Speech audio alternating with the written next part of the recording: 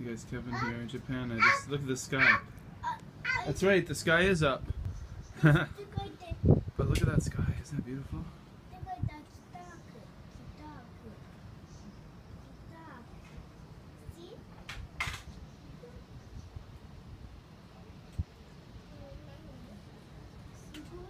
July 2nd. In Kobe, Japan. The, the way the clouds are over the mountains always very cool. Gorgeous. Nice guys.